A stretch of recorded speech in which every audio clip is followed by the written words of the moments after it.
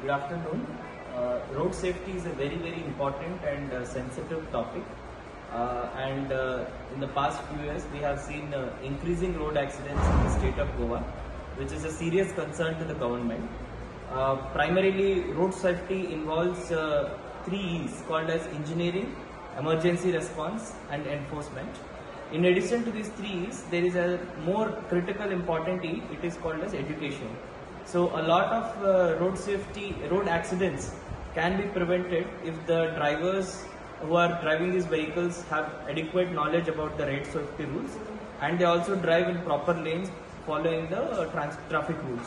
So in order to imbibe this training in the drivers, uh, today um, in collaboration with the traffic police, uh, transport department and traffic police together have launched this program called Trust it means uh, traffic rules understanding and safety training. So this program is meant for all the uh, uh, drivers who have found to be committing certain offences under the MV Act. Uh, these include uh, overspeeding or uh, jumping the red light or driving in the long uh, wrong lane, drunken driving, etc. Uh, whosoever is committing these kind of offences, uh, their driving license will be suspended and before the revocation of that uh, suspension they have to mandatorily undergo this uh, refresher training that is being jointly imparted by traffic police and transport department. So i thank uh, sp traffic for uh, his endeavor in this regard and also for proactively taking these kind of steps to imbibe uh, road safety education to the drivers in goa. Thank you. Uh, so as Director Transport had said, we have launched this Project Trust. So one of the main component in this Project Trust is driver refresher training.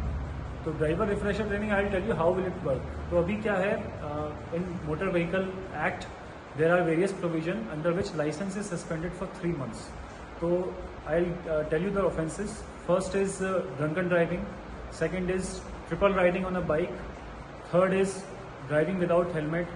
Fourth is carrying persons in goods carriage. Uh, fifth is second offense of overspeeding.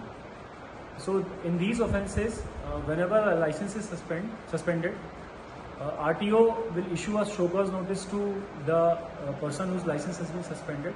Along with along with this show cause notice, he will also the person the violator will receive receive the schedule of the uh, this training driver refresher training in the upcoming days.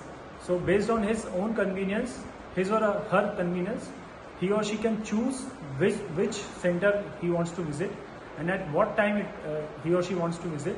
So this course will run in three centers simultaneously. One is ITI Margaon, second is uh, ITI Panji, third is RTO Ponda. So for the south, south side, since it's a big area, so RTO Ponda, RTO Ponda and this uh, ITI Margaon will serve as a station for this training. And for no- north, for now we are starting it in Panji, and we'll also uh, we'll we'll take it up in Mapsa also in due course. So so the people whose license is being suspended, they will receive the uh, schedule of the training program in the upcoming days.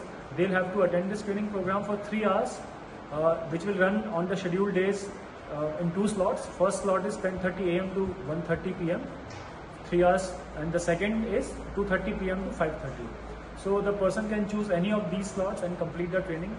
He will receive a training certificate which will, which will be signed by uh, SP Traffic and Director Transport he, that you have some, uh, completed this training and this certificate he or she will have to be will have to uh, produce it in front of RTO before the licenses license suspension is revoked.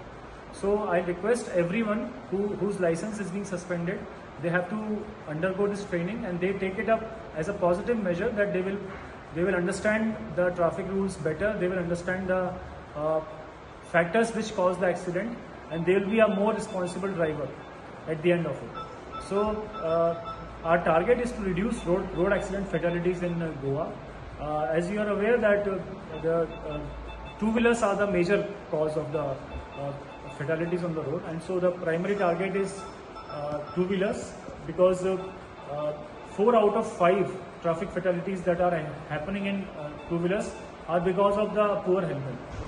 So this is one of the important other other reasons are self accident cases which can also be regulated by this measure.